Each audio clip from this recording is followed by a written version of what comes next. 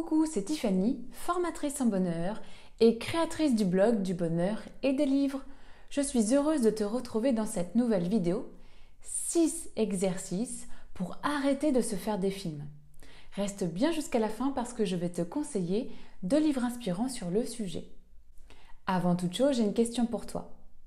Aimerais-tu être plus heureux, heureuse dans ta vie? Si la réponse est oui, alors télécharge tout de suite mon guide sur le bonheur. Tu peux retrouver le lien pour le télécharger gratuitement dans la description. Maintenant passons au sujet de la vidéo. Imaginer le pire est une tendance bien répandue parmi nous. En fait, nous passons énormément de temps à nous créer tout un tas de scénarios catastrophes pour le futur. Et nous voudrions que cela cesse, parce que c'est trop stressant, trop épuisant, et puis cela gâche considérablement notre vie. Alors comment arrêter de se faire des films Voici 6 exercices pour arrêter de se torturer et retrouver la sérénité. Premier exercice, mettre un point final et arrêter de penser. Se faire des films, c'est laisser notre imagination s'emballer et courir derrière elle. En fait, une idée négative en amène une autre, et plutôt que de dire stop, nous écoutons, pire, nous alimentons nos pensées déjà bien agitées. C'est pourquoi je t'invite de tout cœur à de quoi écrire et à noter en une phrase seulement ce qui est en train de te stresser, de te faire de la peine ou de te mettre en colère. Une fois que tu as écrit en une phrase ce qui te torture, mets un point final.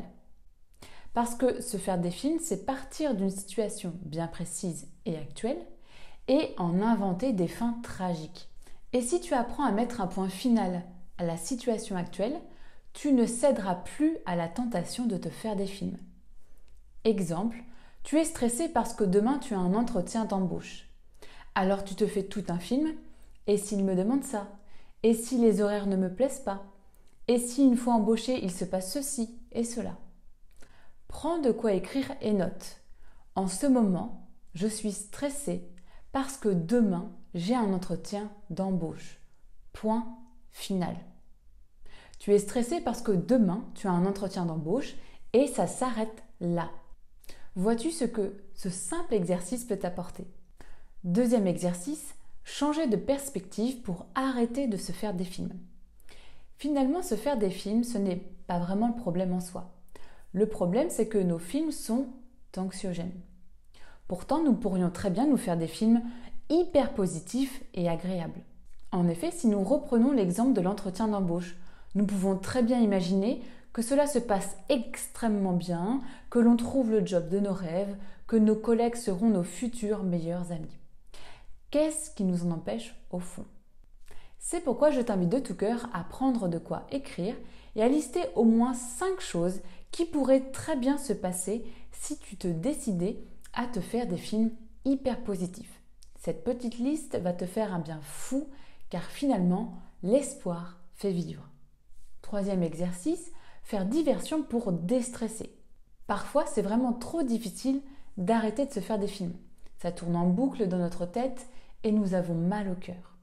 Alors que faire? Fais diversion.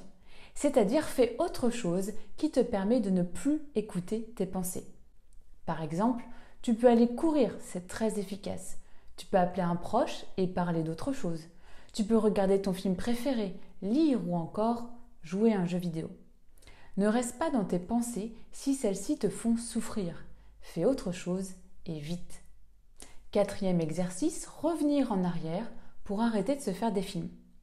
Ce n'est pas la première fois que tu te tortures en te faisant des films. Alors reviens en arrière quelques instants. Reviens à la dernière fois où quelque chose t'a tellement stressé que tu n'as pas pu t'arrêter de te faire des films. Finalement, que s'est-il vraiment passé concrètement par la suite? Est-ce que les films que tu te faisais se sont réalisés? La réponse est non à 99,9%. Donc respire un bon coup et lâche prise sur tous ces films que tu te fais. Vois-les comme de simples pensées plutôt que comme des prédictions pour l'avenir. Cinquième exercice, poser des questions et arrêter d'être parano. Parfois nous nous faisons des films parce que nous n'avons pas le courage de poser les questions. En effet, plutôt que d'aller voir la personne concernée ou de demander des conseils pour apaiser notre stress par exemple, nous préférons rester dans notre coin et nous faire tout un tas de films. Donc parle, demande, exprime-toi, pose des questions.